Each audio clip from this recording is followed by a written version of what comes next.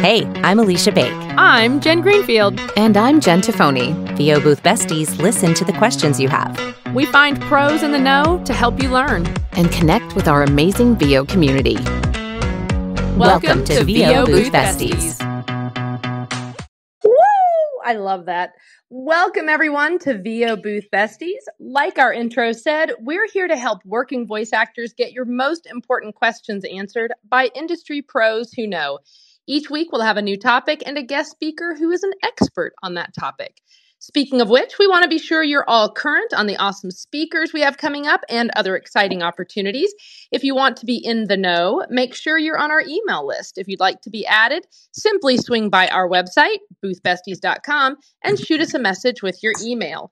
Lastly, if you haven't joined our VO Booth Besties Facebook group, join us there too. Now, a quick bit of housekeeping in order to stay on topic and get as many of your questions answered as we can. We're going to keep hand raising turned off. However, the chat will remain open.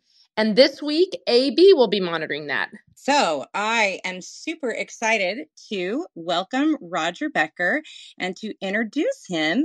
Roger Becker has 30 years vested in the VO business. From starting as a recording mix engineer in studio to directing talent and then working as an agent in broadcast promotions, Roger then moved full time into VO casting as vice president of Just Voices Casting and then the owner of the VO Syndicate. In 2022, Roger acquired and expanded the Access Talent Group. They now represent VO talent all over the world. Roger, I'm I just have to tell a little backstory about you to our guests. Um, a couple of years ago, I was feeling pretty frustrated in my career. I was booking consistently online and through direct marketing, but I really felt ready for agency representation, but I wasn't getting anywhere. I was submitting and submitting and just spinning my wheels. And um, that was right around 2020 somewhere and i'm it was just the industry was saturated and i just wasn't making traction. So deb sperling suggested i coach with you roger becker to give me an edge and make sure i was marketable. And guys that was the best coaching course that i have ever taken. At the time he was teaching a four week course and um, i fully credit the success of my career since then to roger. I just it was great Sadly, I don't believe you're coaching anymore, Roger. Is that correct? And we should mention how you unmute. Bottom right hand corner of your screen is a microphone. You're going to want to click on that, and that will unmute you. Thank you, because I wouldn't have found that without you. Welcome to Clubhouse, Roger. Thanks for having me. I, it's uh, it's very very nice to be here. It was a very warm introduction. I appreciate that. Yeah. Well, since we're already old friends, I am actually going to turn this interview over mostly to JT and NJ and sit back a little bit. So, JT, over to you. Thank you very much. Roger, it is a pleasure to meet you. It's nice to meet you as well. Thank you. Uh, we've got some history in common. My background is also in audio engineering. Aha, uh-huh. yeah. Uh, you know, people who like lots of little buttons and flashing lights and dark rooms. yeah, just leave me by myself and I'm good. So let's start tonight by talking a little bit about your journey. Um, how did you go from being behind a board to being an agent? Uh, I I was in a working in a recording studio in, in New York City up on 46th Street. No longer exists, but uh, it was a wonderful experience. I enjoyed it a lot. Uh, I just found that in the sessions that I was in, uh, when the voiceover talent was in there for the first half hour, 45 minutes, that was the thrill of it all. Once they left, uh, the rest of the session became uh, not as exciting. And uh, we happened to have a casting division that was a part of the studio, and uh, the person who was in charge of it uh, was taking a fair amount of time off, so they were constantly looking for somebody to cover the sessions. And I just started to get more and more into it, and I really developed a, a dialogue and a language with talent, and uh, just a connection to it all. And that was kind of the birth of it all. And then I was fortunate to, uh, when I got out of the studio, I was fortunate to go down and work for a talent agency, uh, which was actually the former version of Access Talent, and uh, and hone my craft, kind of learning how to direct talent in their booth for for several years. Okay, so it, it went from just riding the faders to actually starting to direct? Yeah, the the mix process uh, lacked a. a cre- I, I think I had a, a, somewhat naive dream coming out of school that uh, that there was more creativity in it all, and I found it to be a little bit limited. I found to be a, it tended to be a producer sitting behind me, kind of telling me where, what to do and where to put everything. And um, so, uh, like I said, once the VO talent left, I, I thought the the energy of the session kind of left, and uh, I, I wanted to be a part of that energy. That is very cool. Very cool. So tell us about Access Talent. How did how did that whole thing evolve? Uh, well, like I said, I, I worked there for uh, for several years uh, back in the day. Um, I worked directing talent in their booth, and then eventually moved out uh, and worked in their broadcast promotions department. Um, then I, I, left there for uh, and went back to casting, where I spent the the bulk of my career. But I had an opportunity uh, during the pandemic when the casting business had, had just changed, as everybody knows, mm-hmm. um, during the pandemic, and I had an opportunity to kind of come back and uh, and and take it over, and, and that's what I did. Very cool. What kind of projects do do you typically work on at Access? Access works on everything voiceover, so commercials, audiobooks, narration, dubbing, industrials, political. We also have a stellar voice, uh, video game and animation department run by Alyssa Blumenthal. Uh, she handles all of our interactive work. So if it's voiceover, we work on it. Do you have a favorite? Um, I, I, was always a commercial guy. I have I have taken a love to audiobooks. Audiobooks was something that I had worked on a bit in the early part of my career when I was casting in house. But once uh, once I went into kind of the, the private sector of casting, there's not much budget in in audiobooks for casting, so it just kind of was off my radar for several years. But coming back to it in the agency world, um, I was I wasn't apprehensive about it. I just uh, I wasn't very comfortable with it at first. But I found that that world is uh, a very friendly and very accommodating and, and very sort of relaxed group of people. Um, and in the uh, the minute to minute, second to second heart attack that is commercials, uh, audiobooks can kind of be a can kind of be a nice little walk sometimes. So, um, but but I, I'm a commercial guy at heart. I would have to agree. And audiobooks scare the daylights out of me. well, me. yeah, and, and you know, people people learn that hopefully not the hard way. Um, but uh, but yeah, you need to find that out about yourself. It takes a special breed. It really does. For sure. And you know, just the the whole process behind the audiobook and the editing and, and the time involved is and that doesn't and that doesn't scratch the surface of the research and everything right. else that goes into it ahead of time. Yeah, and uh, you know, and uh, it sort of sort of limits you not just during the day, uh, but it also limits your evenings in terms of what you can do. Considering you really need to be on vocal rest and preserving yourself and reading sections of the book for the next day. It's a it's a fully in, involved and invested process for sure. Yeah, and character development and just. Ex- extremely rewarding to the actor who who does enjoy it though. Um, it, it's one of uh, like I said, I think it's one of the the more artistic parts of our craft. Yeah, I, and I have the attention span for commercial. commercial promo, get get me in there. You know, we'll bang it out and and we'll move on. Sure. And that's why I was thinking I really enjoy doing children's books. So it gives me a minute longer than commercial, but not a full audio book. So. We're, yeah, we're, we're, starting an audio pamphlet division. I'll let you guys know. yes, I'm in. That's interesting. I haven't heard about that. what are what are audio pamphlets? Oh, I was kidding. okay, JT. that could be we a thing. Start though. it. We could be the new people that that bring that on. We oh my gosh, a new genre was born tonight, right here. Audio pamphlets. Why not? We have to read ISIs, right? All those those medical narration things that that nobody wants to really listen to, but it has to be there. Pamphlets could be a thing. So, um, one of the questions that that talent ask pretty much whenever they get a chance to ask it to an agent is, "How do I get representation?" Now, obviously, that question is going to vary a lot depending on the person they're asking. So, we'd like to dig into your process. Uh, well, you know, obviously the you know when you have a personal connection or something that helps quite a bit. Um, but uh, if uh, if if in terms of just sort of uh, you know cold calling, as it were, um, you know, obviously your demo is is at the at the at the the front of the line. Um, if if your demo isn't uh, you know ear catching, if it's not uh, if there's not something interesting about it, if there's not something dynamic about it, uh, you know we'll we'll move past it. Um, but uh, but I, I, would say a, a quick, concise, uh, professional note, um, either a link or the demo attached.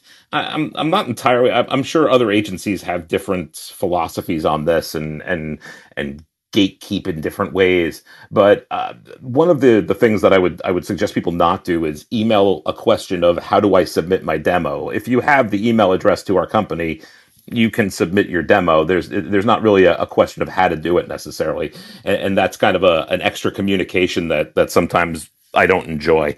Um, but uh, but but every demo that comes through our doors gets heard. Um, we try and respond to just about everything, but uh, that's that's a difficult, uh, almost impossible endeavor. But we do try. I'm sure. I'm sure. Um, so you led me right into the next question. Um, we've had people ask about their their demos. Do you prefer it, pre- hmm, it be produced by a well known company who does demos, or would you rather hear a demo that's a compilation of someone's actual work? I, I don't honestly think that anybody necessarily listens to a demo and considers whether or not they're real spots or not. I've I've been doing this a long time, and uh, I, I'm not interested in guessing or trying to figure that out. It doesn't really fascinate me. I'm listening to the demo reel to hear a range of different styles and different reads, and if that's captured best in spots that you create in, a studio or that you've lifted from actual sessions, I, I kind of don't sort of care. Okay. Um, uh, I, I'm much more interested in the material itself. In terms of who makes it, uh, once again, uh, I don't know if if how much of an opinion I have there. I think by and large, the better demos that I hear are done by professionals um, and and and demo producers who know what they're doing. But uh, every so often, uh, you know, somebody will put a demo by me that's quote unquote homemade or you know uh, made by somebody who's not necessarily a, a VO pro, and still we hear something or something appeals to us that breaks out.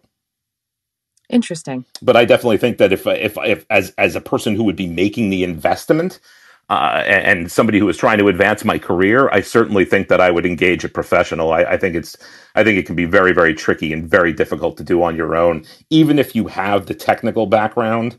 Um, once again, we're into a place of self-directing. Uh, it just, it, it's, it's a much trickier process. Well, let's stay with that for a minute because Brian has asked, um, kind of, uh, I don't know, as a gauge, do you normally listen to, or do most agents listen to the entire demo? Are you kind of waiting for the hook and you make it about two spots in? Uh, there's no way I'm going to speak for most agents. Uh, no, I will no, tell fair, you my fair. process.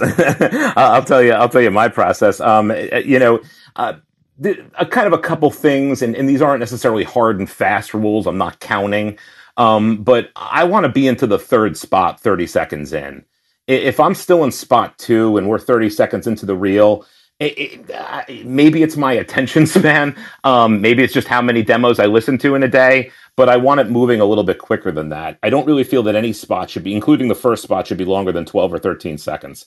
Um, it, people in my position, we get it at that point. We don't need to necessarily hear more of that. I know sometimes with shaping and, and with mixing or, or edit points, you need to extend something with a music bed. I get that, or the read needs to go a little bit longer but for the most part, get me there.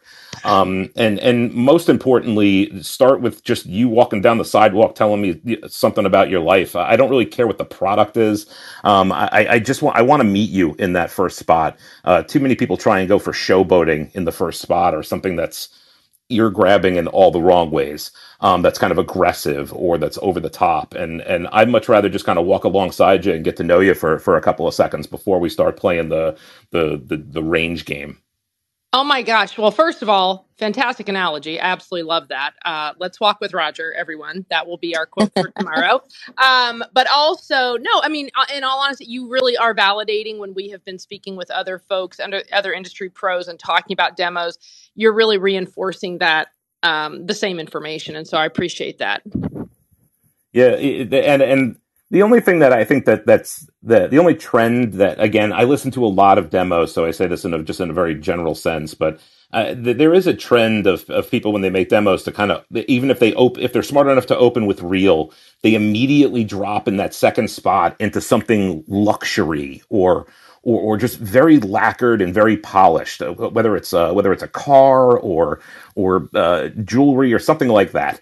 Um, and I, I, think everybody thinks that's a great kind of yin yang to open with, uh, you know, to go one way and then go the other immediately. Um, I, I, find that I find that a little bit off putting personally. Um, I, I, I don't want to go to anything that artificial that quick. Um, I'd really rather stay real for for again at least the first couple of spots, as, or at least as real as possible. That was what that was the direction I was given when I produced my most recent um, commercial demo as well, and because that was a trend where you went, "Hi, this is me," and then whoop, just dropped into something else. But then, but then the only way you can go from there is all the way back up, right? Mm-hmm. So you, you know, it is kind of jarring, and you're like, "I appreciate you're trying to show me range," but I'm like, "What is happening?" So I did that very thing, and and I was really happy with how it worked out. Just kind of like you said, come in as you. Let's get to know you a little bit more, and then you can kind of bounce around after that. So yeah, I like. And that. I, I also think that I think the, the better promo producers out there, or the, or the I'm sorry, the better um, demo producers out there, uh, are, are fine tuning these things a bit more, and they're really trying to get the personality of the person out there.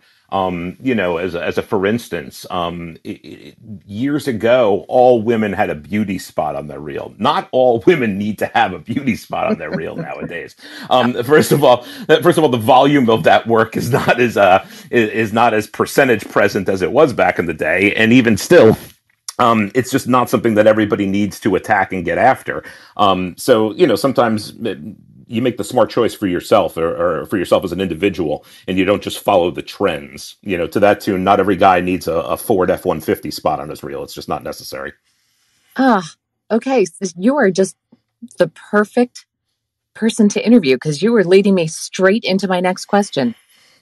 I want to talk about the current trends in vo um, 2020 of course we shifted away from the millennial trend to comforting and connected which gave way to the last two years of not announcery and not salesy and real person, conversational. Are we starting to see a shift again? I think that no, I, I think the, I think the real person conversation, and that's a that's a that's a really sort of general category, but um, that that that has been on the map for a lot longer. Um, I, I, don't know if everybody was as in tune to it or is paying as much attention as the advertisers and the, the creative agencies wish the actors were.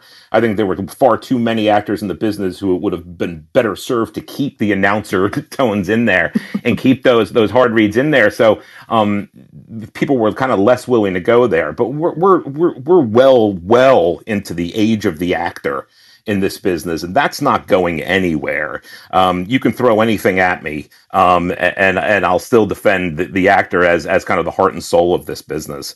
Um, so, real person conversational isn't going anywhere. It's more important than ever. I think it will continue to be uh, getting your point of view in there, getting your emo- uh, your emotions in there, uh, getting your reactions in there, your physicality, your expressions, um, and, and, the things that make you unique. Those are those are important important traits to get in really every read you do nowadays.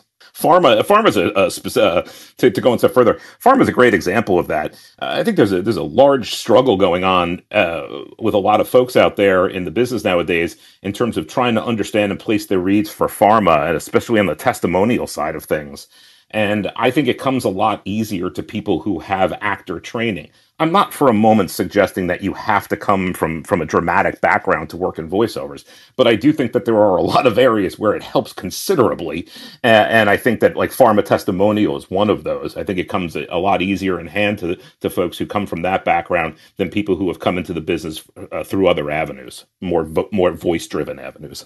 Yeah, I think um, also coming from a radio background, it's it, that's a hard bridge to gap Oh yeah, yeah. No, people with radio backgrounds. I mean, it's a the the, the, the danger with them is there's always that clock running. Um, I know this from my own experience. I came up in radio in, in my very formative years uh, of college and things like that. But um, it, it's hard to get away from that, and you wind up starting to tail you, the back ends of your reads to hit an imaginary clock that nobody else is paying attention to. So we're leading right into just how important are the specs.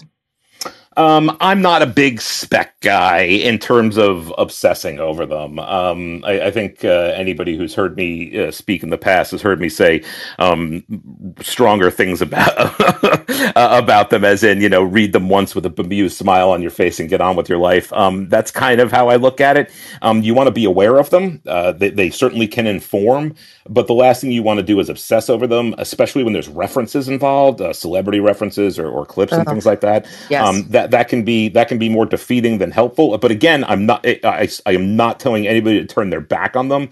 I do think it's something that you have to to, to watch, you know, for however long you need to, um, or, or, be aware of. And it's the same with again reading through specs. But ultimately, I believe the answer to every script lies in the words of the script itself. I I, I would take that over specs any day of the week. I could not agree with that more. It writing that's what it, you know when you talk about you know a joy for audiobooks and things like that you can have a beautiful voice but if the writing is not there it is not going to capture you know your imagination. It is not you're not going to be able to visualize what's happening um, you know and get your audience's attention right? And so i 100% agree with you when when you've got good writing and then can complement it with a good voice magic. Yeah, and I think I think the real work again is is breaking down the script, not so much uh, over analyzing a spec.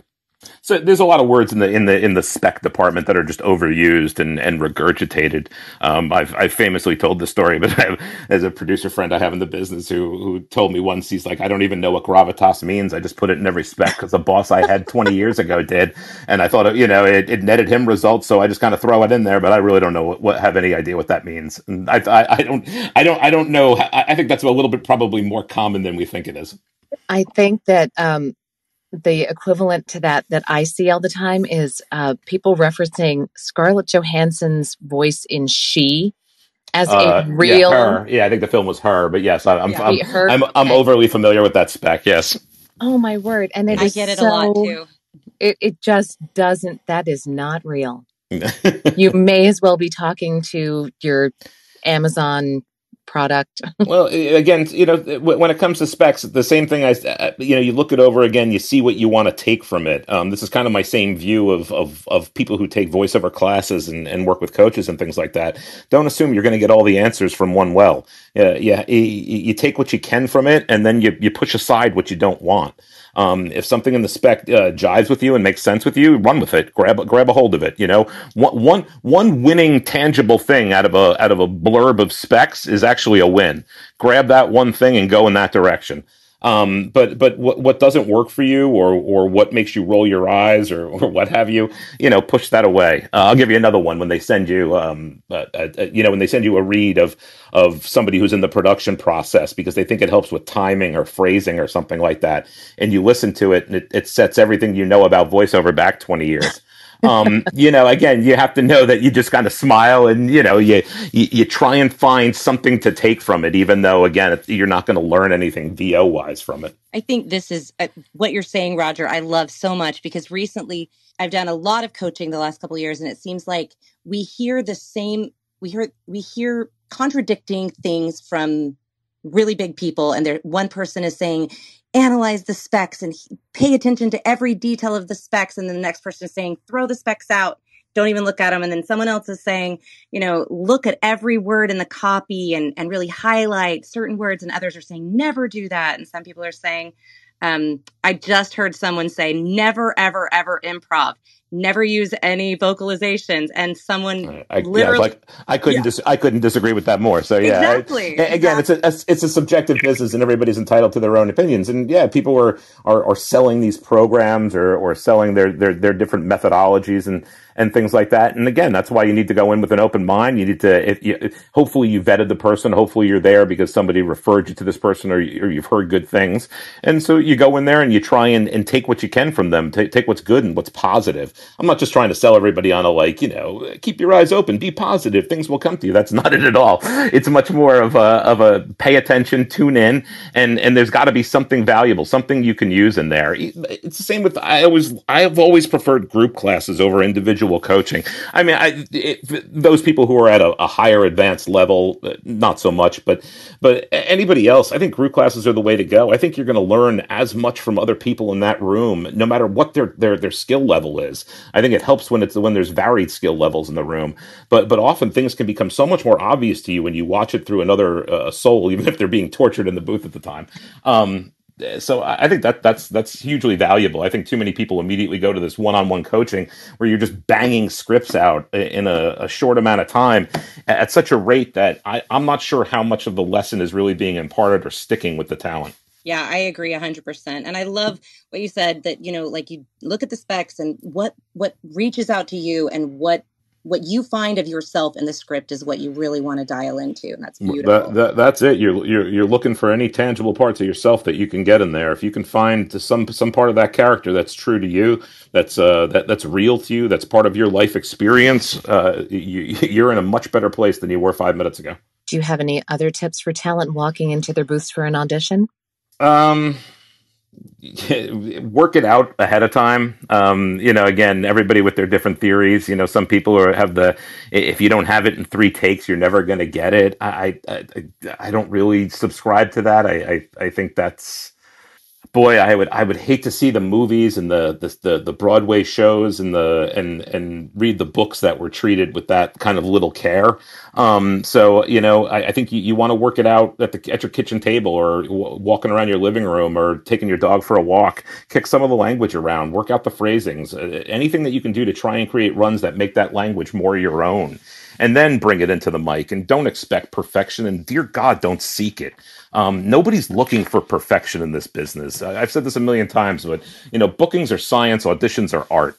Um, uh, eh, keep it live, keep it real. D- don't try and lock it into timing. Um, we, we, see people coming in from the production side more and more uh, as VO talent, and sometimes people think they're they're doing favors when they're cutting this to a point where you could just slap it right into the mix edit at, at the at the facility, you're not helping yourself in that situation. You're really just chopping your read up and creating uh, an inhuman cadence and, and rhythm and run. Um, so don't try and do other people's jobs. Stay stay stay the actor. How many times have we said that you are not the? Oh well, see now I'm now, then I'm boring everyone. oh no, no you're not. I'm literally uh, taking like, notes. we're like shaking our pom poms, doing high kicks over here. All right, then then I'm affirming. This is great. This is yes. this is wonderful. This is like Sunday service.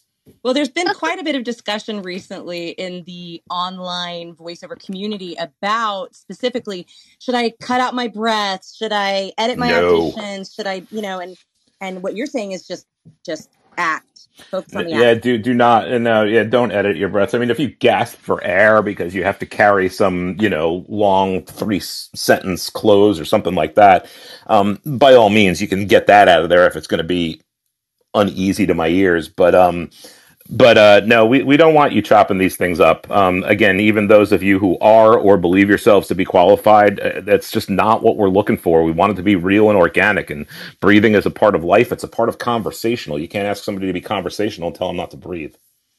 So, one more um, quick thing. Now, Aleesha tells us that you have mentioned being the alpha in the booth. Tell us what that means. Uh, it, it, it means get in there and, and and and and win it and be the be the leader of the group. If uh, you know you see that spec all the time of being the best friend, the one who can do this, that, or the next thing, or lead it. it treat every audition like that. Um, whatever it is, be the mostest, uh, for lack of a better way of saying it.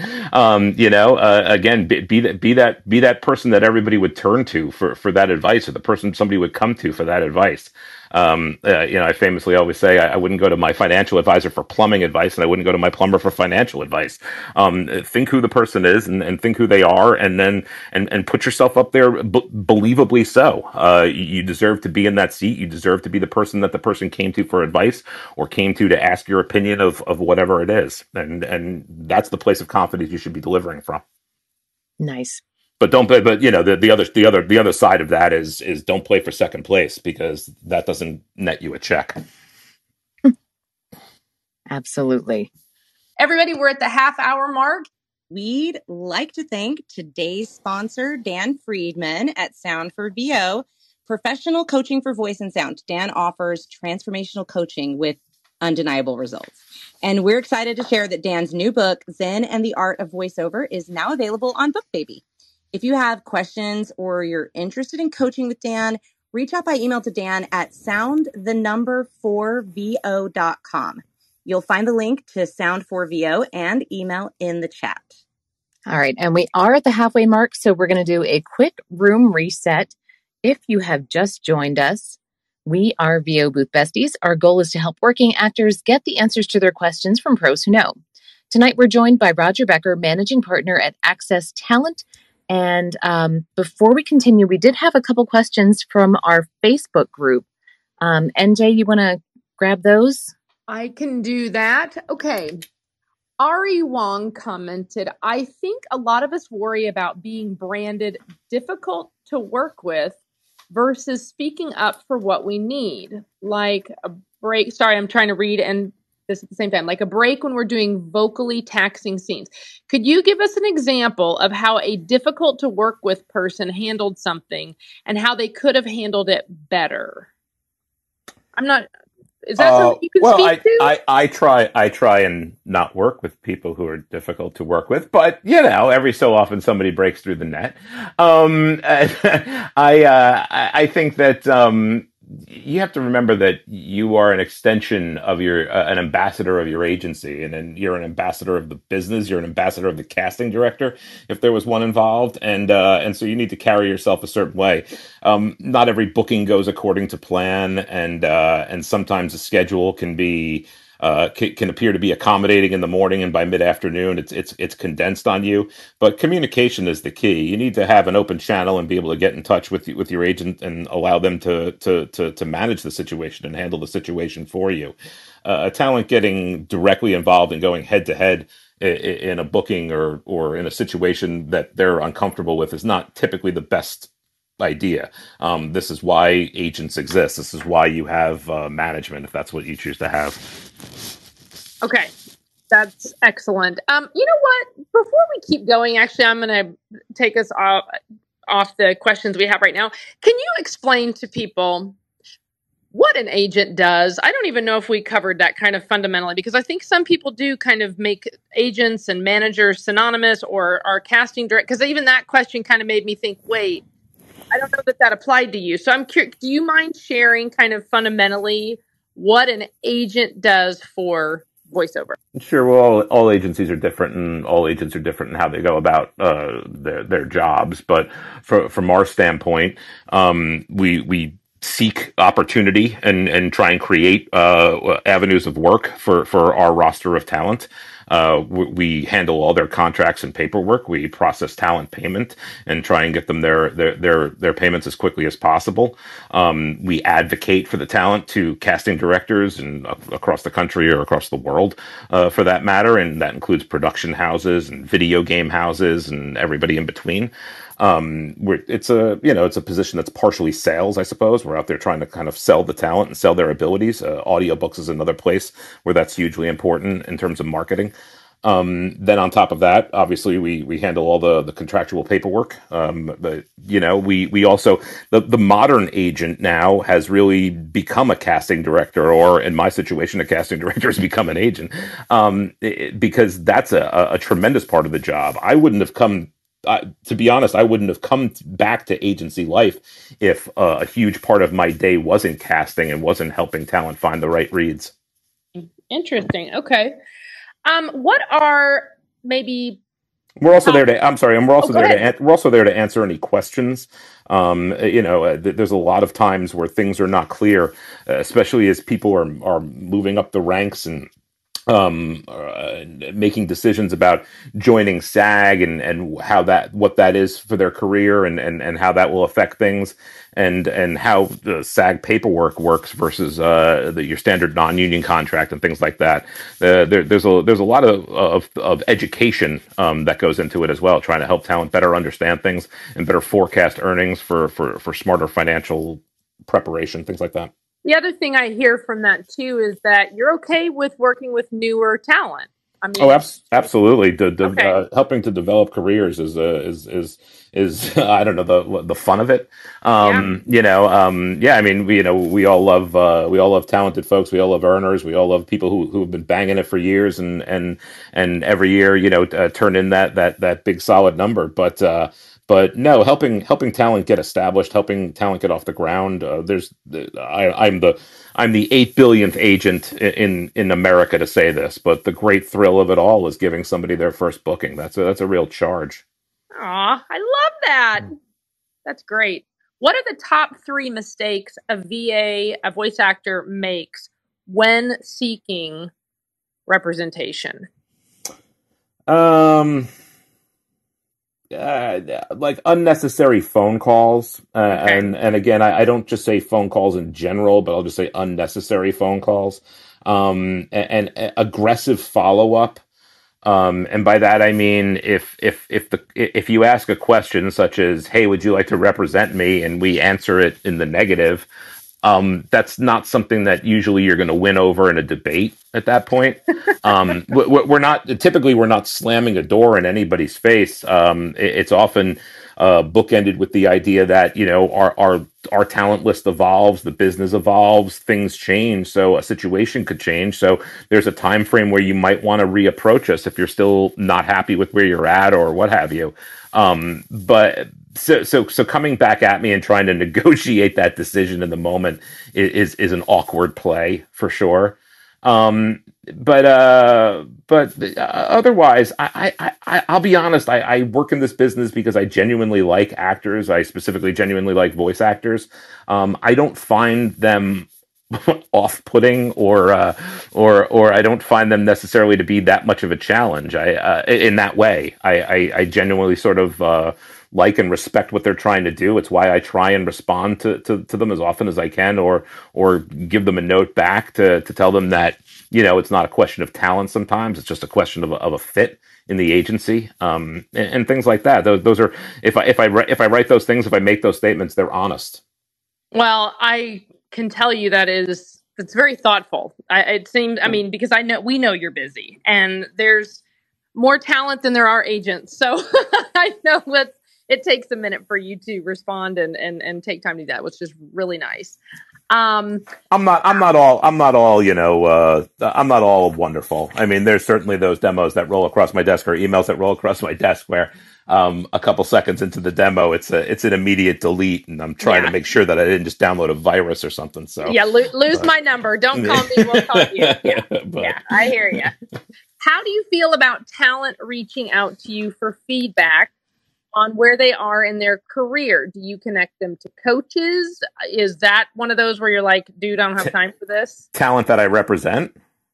Uh, this isn't clear, but I'm going to say, oh yeah. yes, yeah, talent I mean, represent. Okay. Talent that I represent all, all day long. Um, uh, uh, I, I, I want that communication. I want actors to reach out to me if they have a question or a concern about where their career is or or where they're their reads in general or even a specific audition, um, they should feel free to ask that question. Um, you know, we're, we, we, the, the days are busy, as you mentioned before, and sometimes it, it might take me a, a, minute or two to get back to that person. But that's a that's a fair question always. Uh, you know, there's there's a there's a fine line, I suppose, between hand holding and and and and being supportive. But we try and be supportive uh, as often as we can and we, we want to help people get to the bottom of it. If, if they're not booking, there may be a, a, reason for it. There may be something we can point to. There may be something we can help them out with um, uh, to better understand that. And along the lines of your question, sometimes that involves pointing them to a to a coach or or something of that nature. Yeah.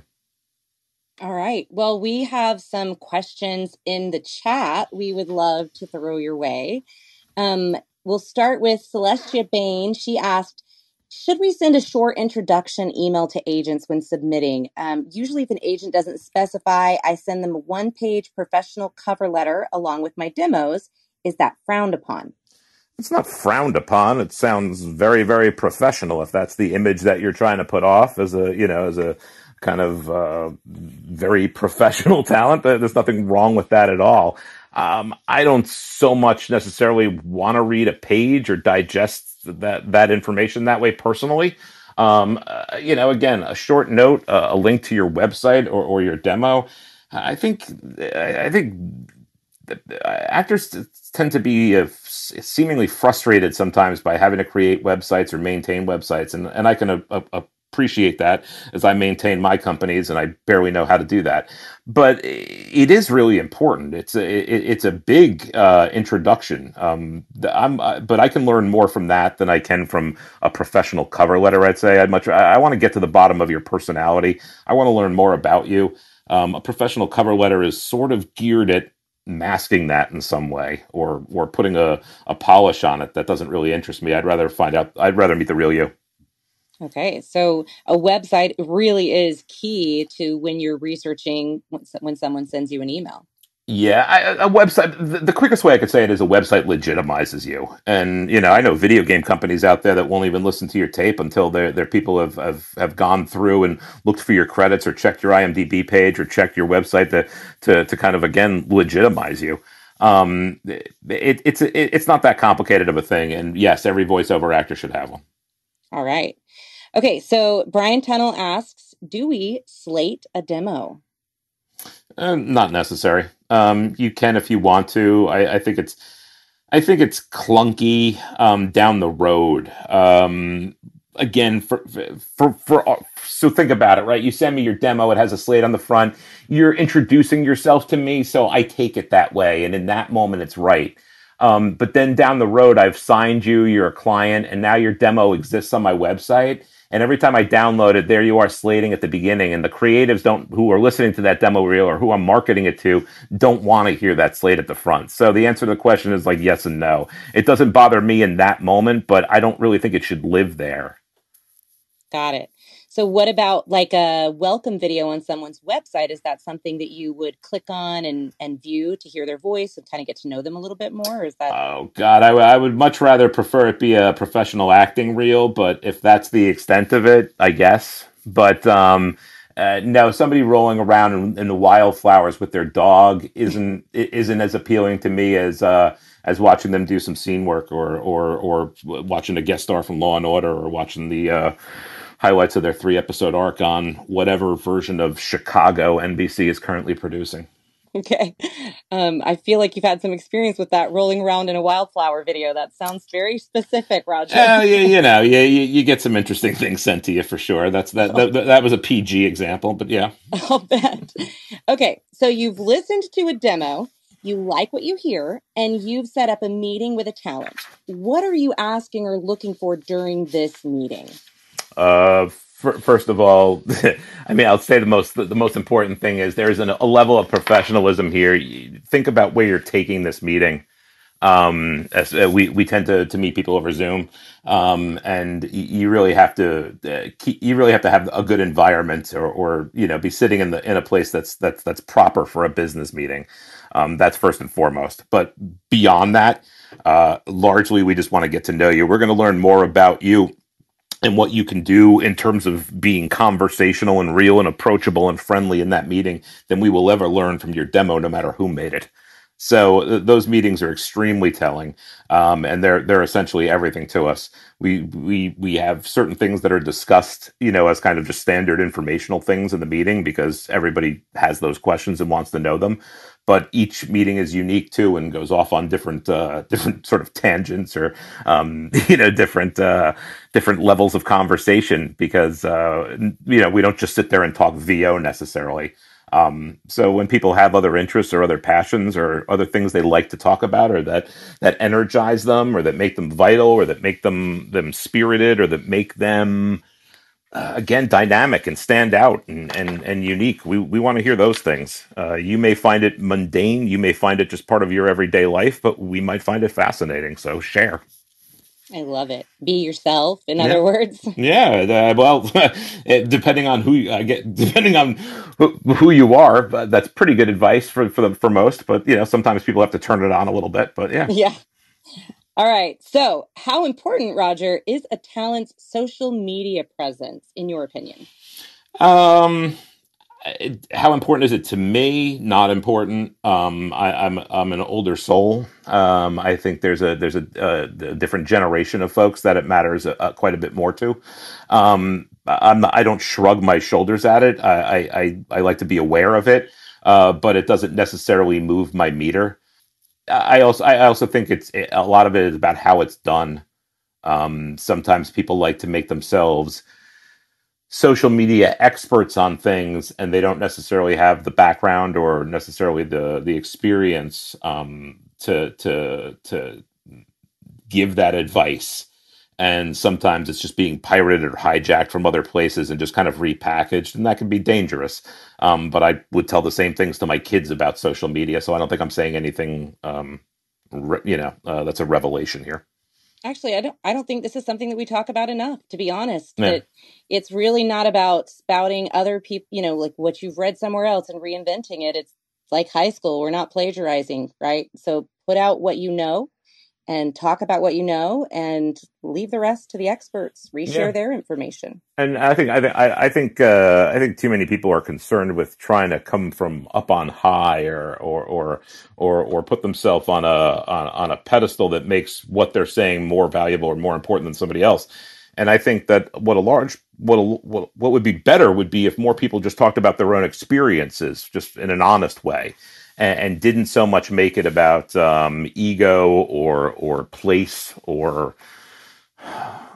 um, or even reputation, but instead just uh, uh, again some of the, the actor groups and things like that. If people just openly shared more experiences, I think people would grow and learn from that uh, how, how to make what, the decisions that are best for them in those situations.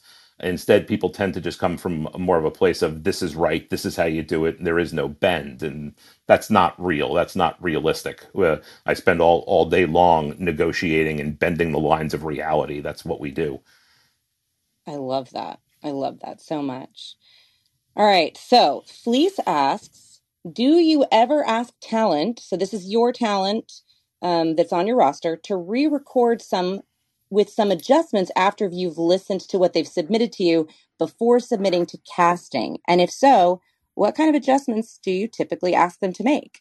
Fleece is a wonderful talent, by the way. I remember uh, her from my casting days. Um, but uh, it happens multiple times a day, probably multiple times an hour. Um, but yes, all the time.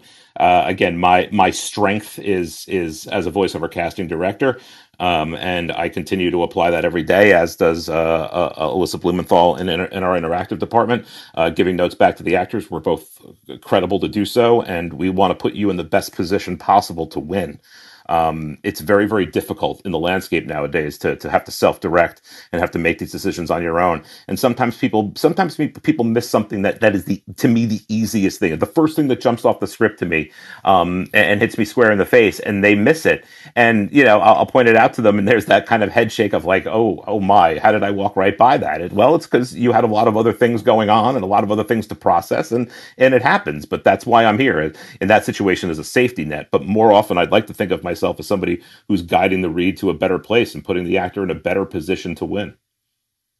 That is golden for your roster. I mean, the feedback is is rare in this industry, so that is golden.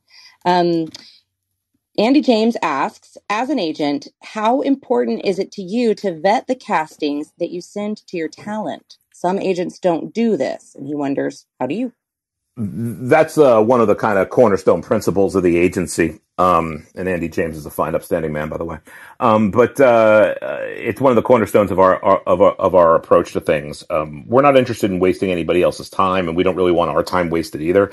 And, and that's not to say that we limit anyone. We're constantly asking people to move their uh, to expand their range, to to try some different things, to to to to to be broader, to be bigger, whatever the case may be. But by and large, we use targeted auditioning. Um, we send auditions to people with the expectation that if they deliver back and make whatever adjustments are necessary or what have you, they're going to get heard at the next level. I'll be that casting or or production or what have you. Um, we don't just wallpaper auditions out or send them to to the, to the roster or to to everyone of the same gender or and then you read to the bottom and find out that the person's supposed to be Australian or whatever it is and you're not that.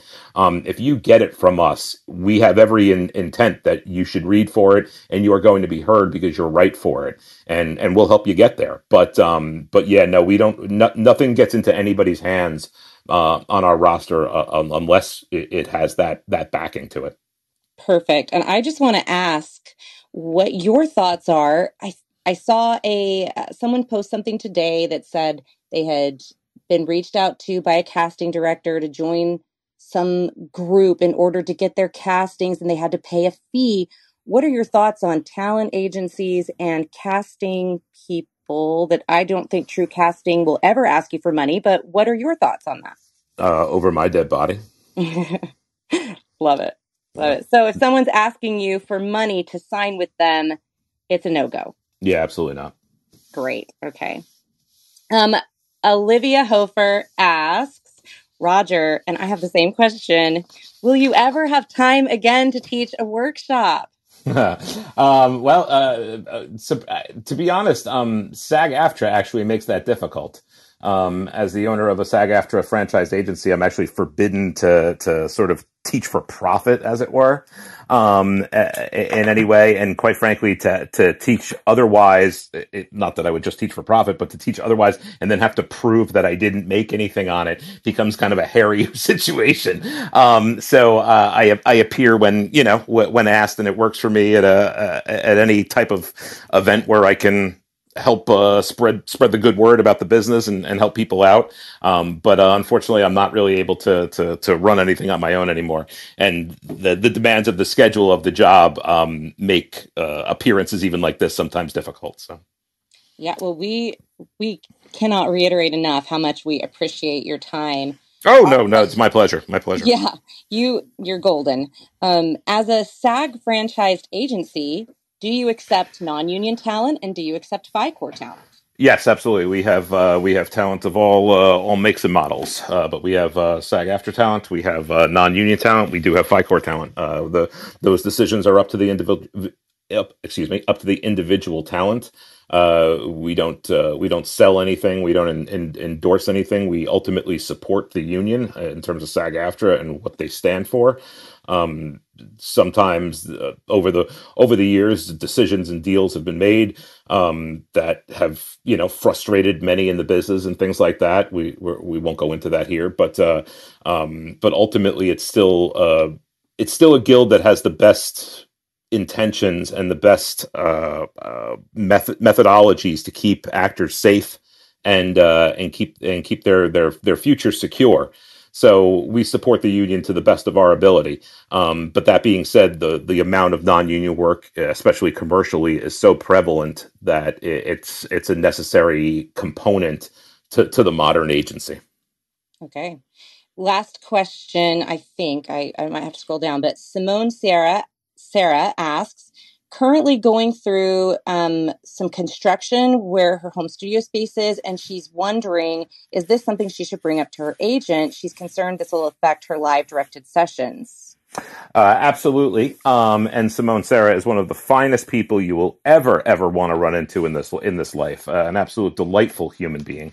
Um, but uh, yes, Simone, you should inform your agents. A because they're good people, and because uh, you can communicate with them, and B because they need to know that. Um, most of these bookings, as everybody knows, comes in come in in less than you know with less than thirty hours to go until uh, mouth to mic. Um, so you you can't. You can't have that be a, a shock to people in the situa- in the system. Uh, New York City, Los Angeles, I don't care what big city you're in, the jackhammers will come for your street or they will blow up the building next to you and build something over the next 18 months. Um, everybody's home studio goes through it. It is kind of part of the modern era hopefully you have a friend or, or, a network that you can of people that you can kind of rely on um, and, and, who might be able to support you during that time. Um, otherwise, you definitely want to have a, a, professional studio or two in your back pocket that you're able to pick up in those moments. And yes, it, you may have to incur some financial damage in those moments in terms of what you make on a job, but you know this is this is the game. These are the risks. Yeah, I have a, a local studio that I reached out to when my internet went out at my house and two hours before a session and i was able to get over there and, and do it and so it's a good idea to have that in your network and guess what they've brought me work since then so yep. it was a win-win um, we have a couple more questions throwing out uh, if oh we're going to get the questions uh, we might as well face the elephant in the room. Are you accepting new submissions? We do not want you to end up with 95 new submissions after tonight. So, what, how do you want people to handle that? Uh, yeah, no, we, we don't ever we, we don't ever turn down submissions. Uh, anybody who uh, who feels that they uh, they would want to be considered by the agency are certainly welcome to to submit to us. Awesome. Yeah. And do you have a form on your website, or like you said earlier, you just want them to email you?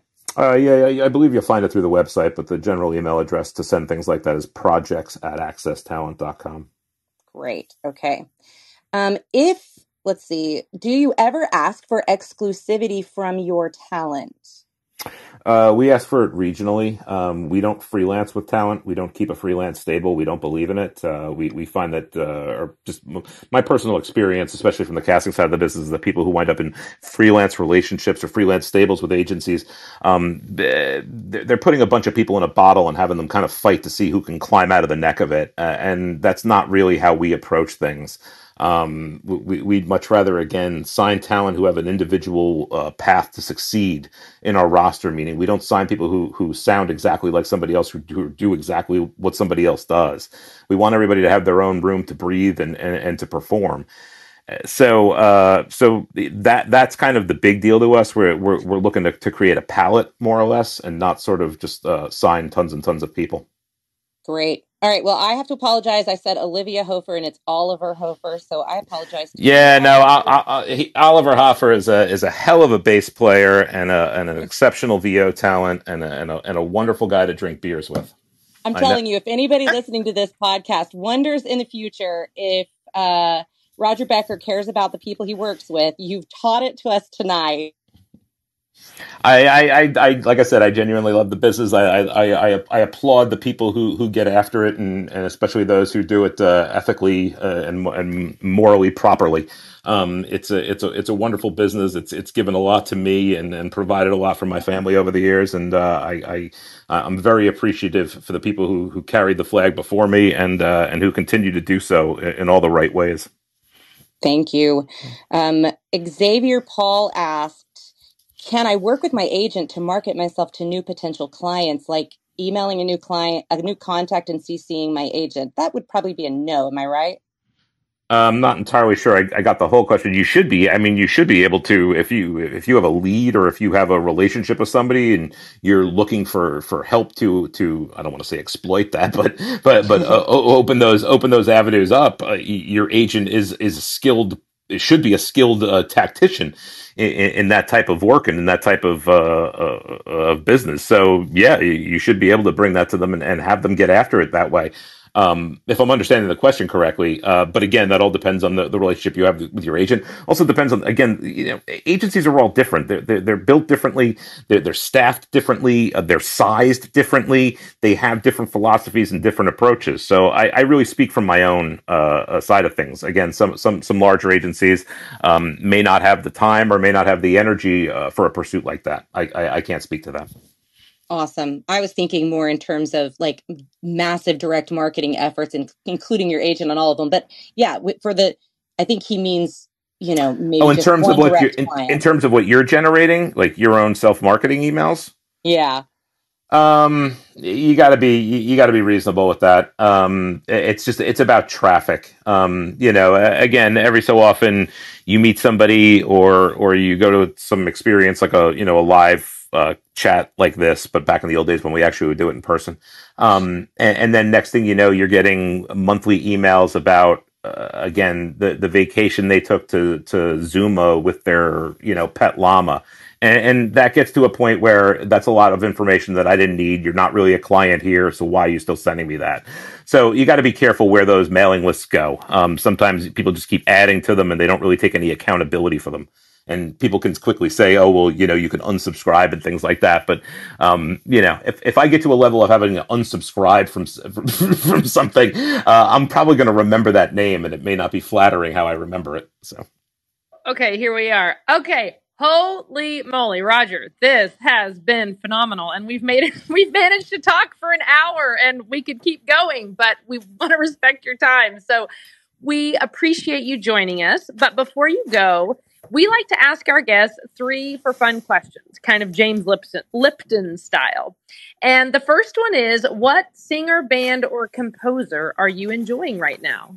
Oh, uh, I'm old school. I don't listen to much uh, post uh, 1979, uh, and I'm, I'm, I'm so I, I, still have a lot of Grateful Dead in my rotation. So I'll say that. There you go. Oh, you know what? Do you know the psychedelic furs? I do. I, I, just saw them in concert with my husband. Sure, sure, yeah, yeah. Slightly later on, but uh, closer to my college yep. era. But yes, indeed. Yep, good stuff. Okay, well, as soon as you said that, I was like, I bet he's about my husband. okay.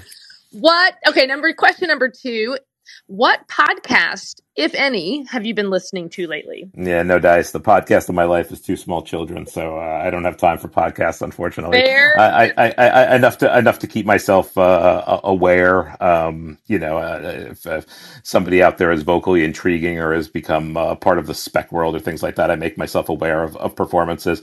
But uh, but no, I don't. I don't have the time to digest that. That's all right. Okay, and the last one. This one's easy. What is your favorite dessert? Oh, uh, ice cream cake on birthdays. It's it's it's just the it's, it's the it's the best thing. It does, it, I don't really care whose birthday it is. I don't really care what flavor the ice cream cake is. If if somebody wants to invite me over for ice cream cake on their birthday, I'll pretty much show up. But you know, isn't that hilarious though? That you could literally, I say this, my husband and I have the same conversation. Sorry, I'm diverting us for a minute, ladies. We could literally go to Dairy Queen or wherever you, I don't even know, you could as adults we could go buy an ice cream cake anytime we want but we literally will not and only do it once a year on a birthday. Right? The, the most the most dangerous thing in the world is that Car- Carvel actually prints a coupon i forget what it's for like three or five dollars off of your next cake and it's printed on the box. So when you finish the one box if, if you're smart you just tear the side of it off and you go right back to Carvel and, and you're wheeling and dealing. Too funny. All right over to you jt well, thank you again, Roger, for joining us. It has been a wonderful evening, lots of information. And thank you to everybody in the audience for joining us as well. We want to remind everybody that VO Booth Besties is live two days a week. So we invite you to join us Monday nights at 5 p.m. Pacific, 8 Eastern, and then again on Thursdays for our VO 101 series at 10 a.m. Pacific, 1 o'clock Eastern. And we also would love for you to connect with each of us on LinkedIn and join the VO Booth Besties Facebook group if you're not a part of it and comment and post. We would love engagement. Uh, replays are all available to listen to on our website. So be sure to check them out on boothbesties.com, on YouTube podcasts, or anywhere you find your favorite podcast. If you're a podcast listener, be sure to share your comments and like and subscribe. And we love you all. Good night. Hey, everybody. Thanks for listening to another episode of VO Booth Besties.